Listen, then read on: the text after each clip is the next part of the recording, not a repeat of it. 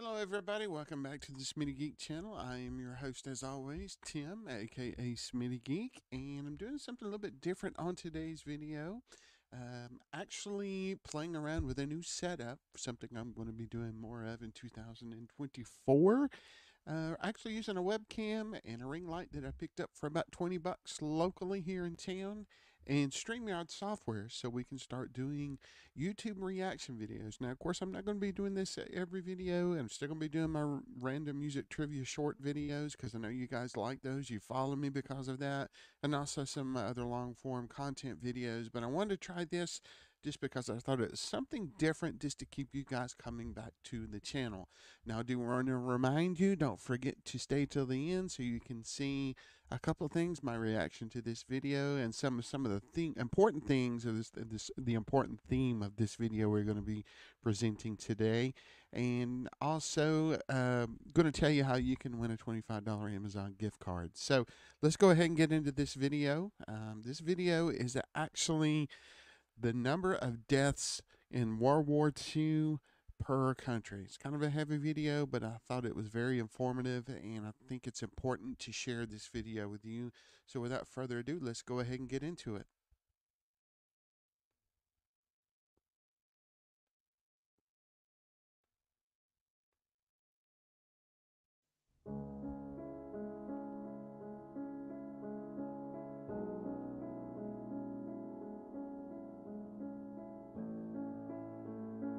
Okay, right out of the right out of the gate, I'm noticing that this is a very strong animation video, which I think is pretty cool. It looks like they did a really good job on this.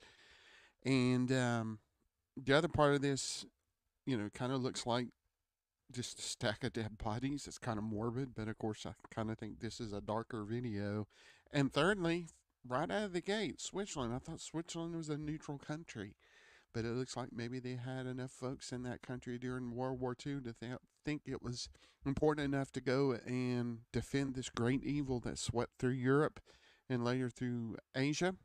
And I guess they thought it'd be good to join up, and unfortunately, some folks lost their lives for the cause.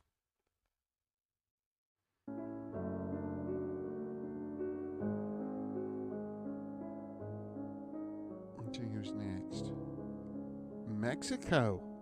That's surprising too. A hundred folks for Mexico too. That's messed up. So they lost as much as Ireland. Wow. And Cuba.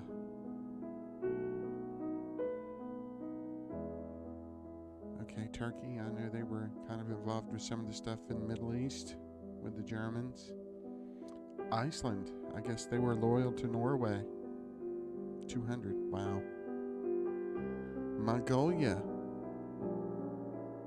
That's another interesting one. Nauru? Is that right? Where is Nauru?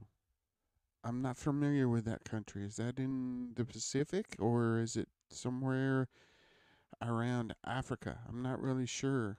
Whoever it is, they had a sub, you know surprisingly high amount of deaths during World War II. If you guys know, please let me know in your in the comments.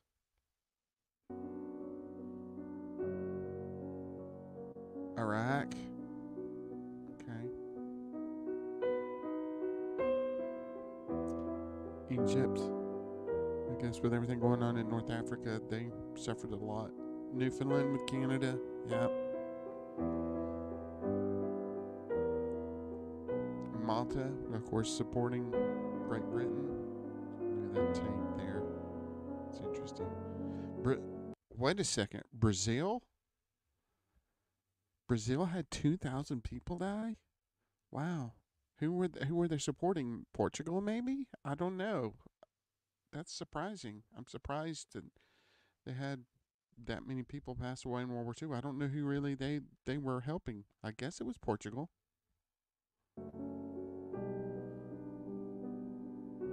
Course, Guam. You know, there's a U.S. military base now. We've got a pretty strong presence there now because of the war. And of course, Sweden, 2,100. Wow.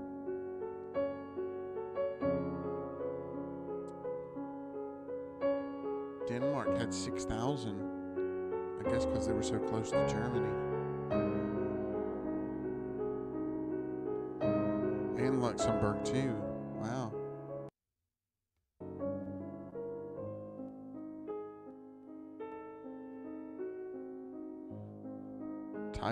7,000.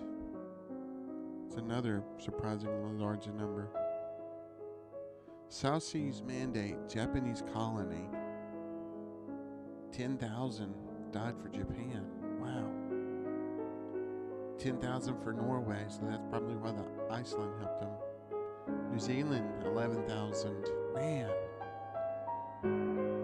South Africa, 11,000. My goodness. This is surprising, man. It's eye opening. Papua New Guinea, how many did they have? 15,000. Another large number. Man. Spain? Wasn't Spain a neutral country? Who were they helping? Maybe Germany? I don't know. Either way, this is kind of surprising to see these numbers that these individual countries put up. It's just telling you it wasn't just Europe. There were some countries in, you know, Africa and South America, like Brazil, that were helping too.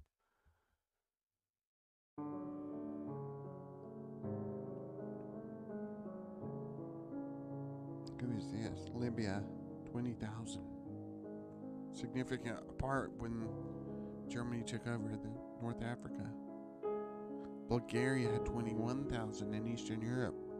I think they had some large oil fields there. And the Germans took over it. And Albania. Albania, of course, was a seacoast. Australia had 40,000. I guess they were fighting the Japanese for the British and maybe had, had some folks go to Europe. I don't know. Canada. That's surprising. I figured Canada would have had more. 43,000. Still significant, though. Rwanda. Oh, for Belgium. 50,000. Portuguese Timor had 70,000. Where is that? Where's Timor? Y'all let me know. Singapore, 80,000. Man alive. Estonia, up near Russia, 83,000. Belgium, right next to Germany, 80,000, 88,000. Finland. Finland had 96,000, but here's an interesting fact about Finland. Finland had just gone through a, I guess, a war or skirmish with Russia, so I think maybe they were pretty war hardened. Um, but it looks like they did take a significant hit from the Germans. Nether- oh my goodness. Wow. 250,000 Dutch people passed away that died. And Latvia, too. Man. It's amazing how some countries really took a hit. Czechoslovakia, 355,000. Wow. Lithuania, 370. Another Soviet country. Okay, here we go. United States. 419,000. Interesting. I would have thought it would have been more, but you know, I know it's significant. I'm not downplaying it by any means. We had a lot of great people pass away to defend our country during World War II. I know that, you know, whether it's in Europe or in the Pacific, um, we did a lot to help Europe, and I don't think they ever forgot it.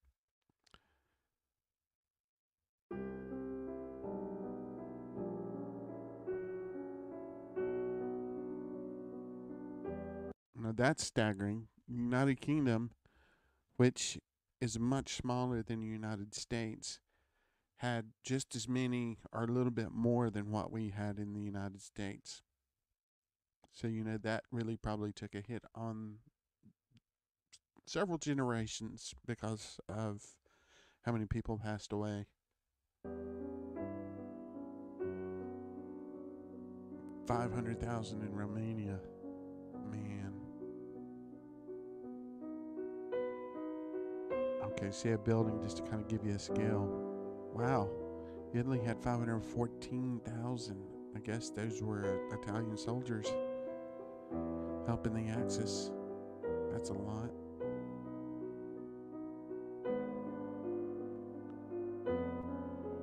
Interesting. So Korea, Japanese colony, was helping Japan, I guess. Wow, 600,000 in France?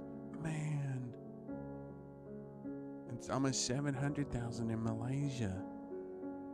In these countries. Mm. Greece? Greece had 800,000 people die?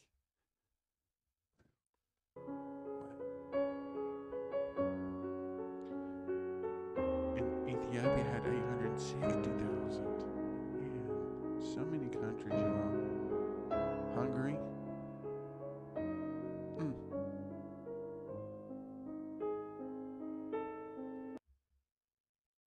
Burma had a million people pass away. You know, it was the Japanese. It's just brutal. It's brutal. And Philippines too. You know, the Japanese were very, very sadistic. What they did to the Philippine people, um, what they subject subjected them to was just incredible. Them and China both. And a lot of it doesn't get documented. Austria. I'm sure a lot of those were soldiers who helped Germany. A million. Yugoslavia, 1.7. Hmm. I guess, I don't know. 2.2 in Vietnam, Cambodia, Laos. India. India had 3 million people die? Wow. So I guess they were probably in Asia. I don't know, maybe they helping the British. I didn't know that about India that they had 3 million people die in World War II. That's how many more people than Britain, the people they were helping. So they definitely did their part.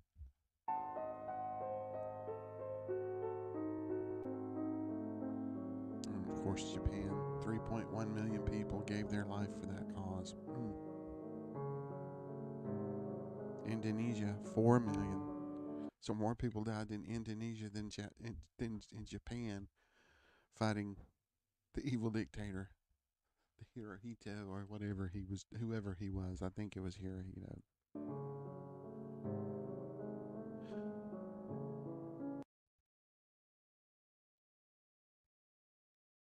Okay. Six million people died in Poland.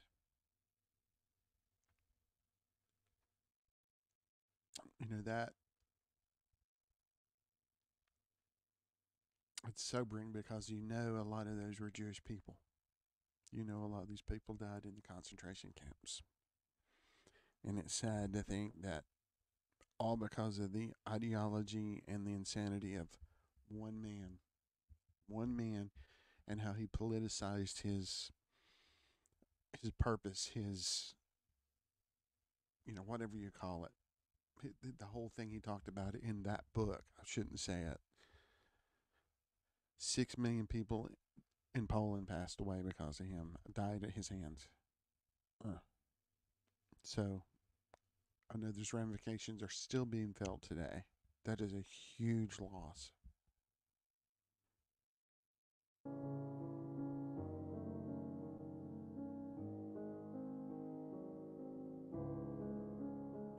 Germany, 7.4 million. Like sleep, sheep to the slaughter because of it, that one person. Led them all to their deaths because of his ideology. Okay. Say what you will about China, but what the Japanese did to them was brutal. Some of the things, some of the war crimes, some of the torture they put the Chinese people through was just beyond cruel. I'm not going to go into details. It's well known fact. You can look it up for yourself. But the Chinese really, really took took it hard from the Japanese. Don't let anybody tell you that the Chinese had it easy because they didn't. And to this day, a lot of them still had a lot of hate and hold a grudge to Japan because of what they did to him in World War II. Okay, I'm assuming Russia is coming up. I know they really took a hard hit. Okay, here we go. So let me run that back just a little bit. So 27 million people died.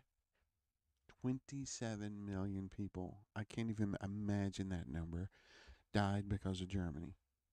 Now, I know a lot of that is because they fought a brutal war and a brutal war on the war front with the Germans. Um, a lot of them died in the siege of Leningrad, and almost half or a third of the country was occupied by the Germans, and they basically just destroyed everything and everybody they could during that time frame. So there again, just like the Chinese and the Japan, I think the Soviets hold a grudge to Germany because of what they did, and obviously with a loss that severe, I think you can't help but have multi generational multi generational impacts on your society and on your country and on your culture. So there again, you know, it's important that we educate ourselves about who we elect, who we put in power, who we're influenced by, so we can prevent something like this from happening again in the future. Um, I know we've it, we're a lot more aware of things because of social media and what's out there, but still, it's very easy to believe what you see online and in the media. It's important to educate yourself, find out the truth for yourself, because um, that's the only way we're going to prevent something like this from happening again. Will we see another war? Who knows? There's a possibility we may, but you know what the impacts are, you don't know. Okay, what's up next? I see another pile.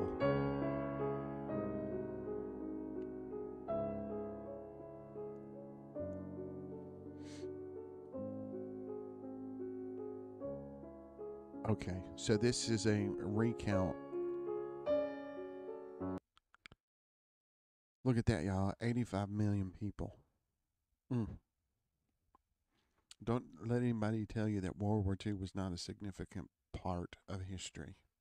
That number right there tells you that it was. So many people died because of either fighting or at the hands of battle.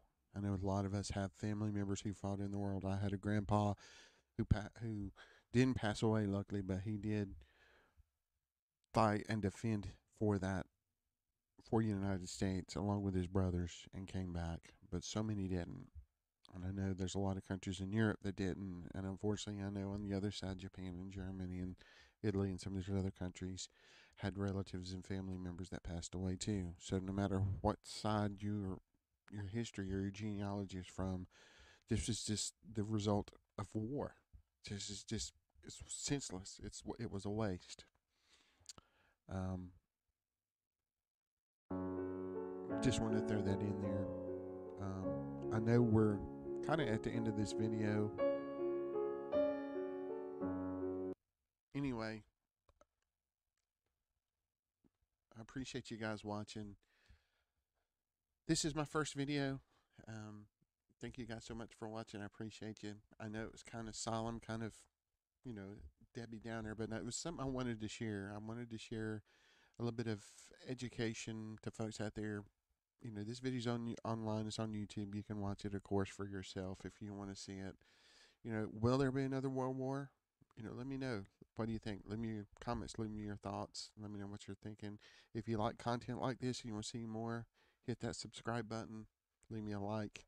Um, we just hit 1,000 subscribers, so we are giving away another gift card pretty soon. Stay tuned for that video in the next couple of days.